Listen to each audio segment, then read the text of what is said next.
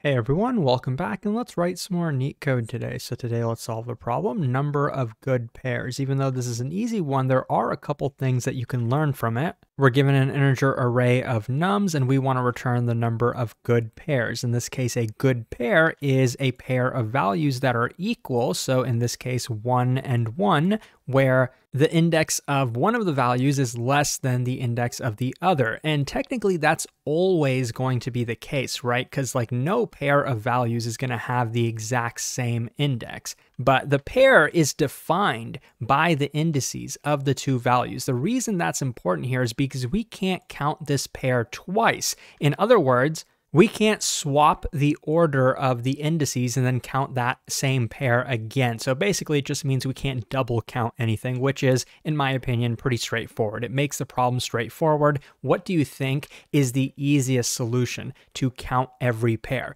Well, it's probably to look at every pair, right? Just read every single pair. How do you do that? Well, that is going to be done with nested for loops or just nested loops in general. We have an array, don't we? So we can have a pointer, let's call it the i pointer, and we can have a j pointer. And we can look at every single pair of values. So starting with i here, let's look at every value where j is going to be here, here, here, here, here, and we're going to count the number of pairs where the value is equal. So in this case, that'll be here and here. So two pairs starting with i over here. And then we have our i pointer here and we kind of do the same thing. j is here and then we scan through there. Then we move i here, scan through there, etc., etc. And the overall time complexity of that is going to be roughly n squared. It's not a bad solution. I think it actually passes on LeetCode. But can we do better? And the answer is yes, we can. We can do a little bit of math. Do you think there's a pattern here? Like, for example, we have three ones in this array. It doesn't really matter where they occur, does it? It doesn't matter where the positions of these are. They could be adjacent to each other. They could be split up across like the entire array. It doesn't matter. We have three ones. How many good pairs do you think we can make with three ones? Well, we could choose any of these three as the first value. Like here, this could be the first one. And then for the other two, we'd have two choices. So that's two. And also, we could consider this as the first one, and then we would have one choice. So that's two plus one. Lastly, we could also choose this one, but then we'd have no other ones to the right of it. So in total, we'd get three good pairs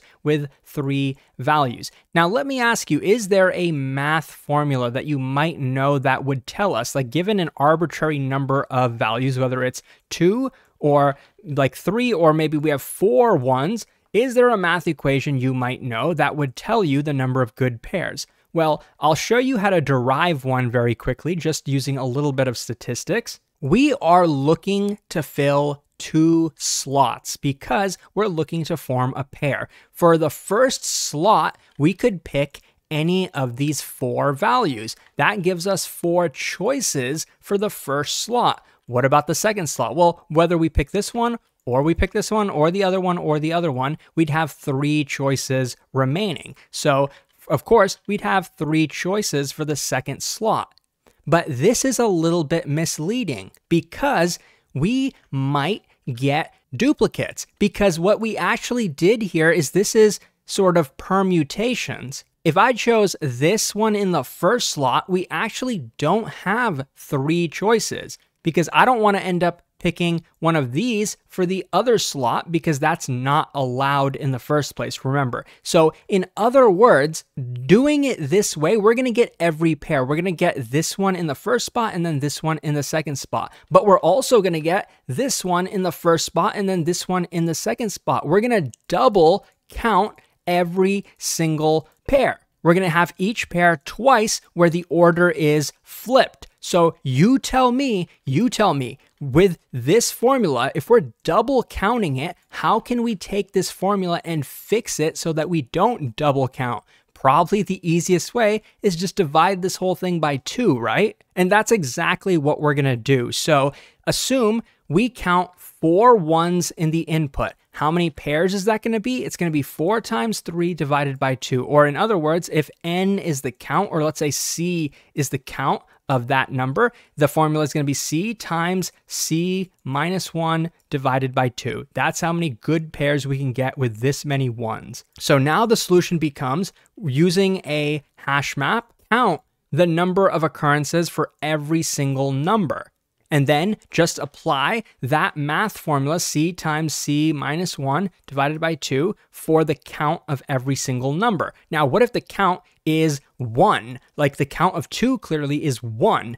So what's this math formula going to do? It's going to be 1 times 1 minus 1 divided by 2. And this is going to be a 0. This is going to be a 0 here. So it's going to make this whole thing a 0. So in our code, we don't even need an if statement to check that the count is greater than 1. Because even if the count is 1, the math still works out. So let me quickly code up this solution. So what I'm going to do here is actually uh, use a built-in type in Python. It's called a counter. So I'm going to pass in nums. What this is basically going to do is create a hash map, count the occurrences of every single number. So every number is going to be mapped to the count. Now, of course, we could have done that ourselves with a hash map and then just iterated over this thing. You can do that if you want, but I'm assuming you already know how to do that. So now I'm going to get into the rest of the of math where we're iterating over uh, every item in uh, count.items. That's going to give us the number as well as the count that it maps to. And we don't care about the number actually.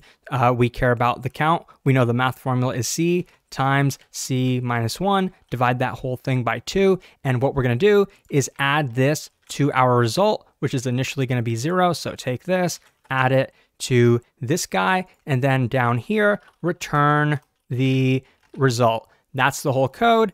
O of n time, because we're iterating over the list of items uh, when we build the counter, and then we're also uh, iterating over the hash map. And we have extra memory, of course, with the hash map. So that's also going to be big O of n memory complexity. Let's run this to make sure that it works. And on the left, you can see it does. But there's one more solution I want to show you because it's actually helpful in problems where sometimes you can't figure out the math formula. If you're not a big fan of math, you might like this solution more. It's also just as efficient, both in terms of memory and runtime. So we are going to still keep track of the count for every single number. We're going to have its count. And as we do that, we're going to count the number of pairs basically as we iterate over the input. We're not going to do it afterwards. Let me show you how we're going to do that. So, so far we have a single one. And then we get to a 2. Now we have a single 2. Of course, we can't form pairs with a single number. We need multiple of the same number.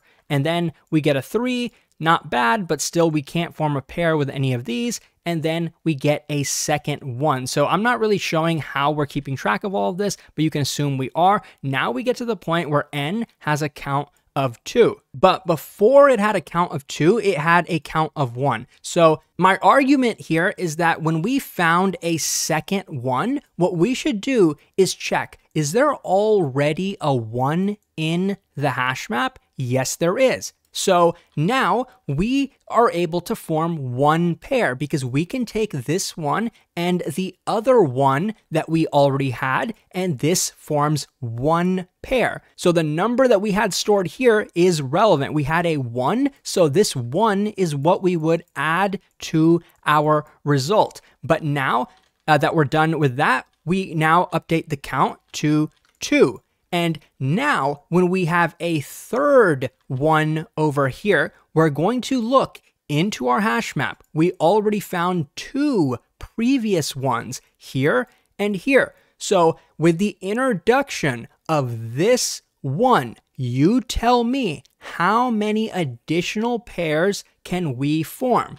Looks like to me one and two, right? So in other words, the same as the count of one that we already had stored, which was two. So now if our result was one, we also add two to it. So now it's equal to three. And if we had a fourth one over here, we would say our, our count at this point, like with these three ones, would have been three. And we'd say with the introduction of this one, we can now form one, two, three new pairs, basically the number of ones we already had, because with the introduction of this, we now form those pairs. So that's the idea behind this solution. I hope it makes sense. Now let's code it up. So this time we are going to declare our result, and this time we're actually going to iterate over the hash map and keep, uh, or iterate over the array and then uh, keep track of the counts ourselves with this hash map. We're still mapping the number to the count. So now let's go through for n in nums. We don't really care about the index. And then we're going to check, is n already in count because if it is, then we can add to our result the count that we already had stored there. And then after that, this is very important that you do this after, increment the count by one because we want the original count that tells us how many new pairs we can now form. And if that wasn't the case, in the else block, we want to just initialize the count and we should probably initialize it with one because this is the first time we've seen this value before. And after we're done with that, all we have to do is return the result. I know this solution looks like magic, but we talked about why it's not actually magic, and this pattern actually does show up sometimes, so I think it's definitely worth learning, even though this is an easy problem. So now let's run it to make sure that it works. And as you can see on the left, yes, it does, and it's pretty efficient, even though the runtime, of course, varies on LeetCode. If you found this helpful, please like and subscribe. If you're preparing for coding interviews, check out neetcode.io. Thanks for watching, and I'll see you soon.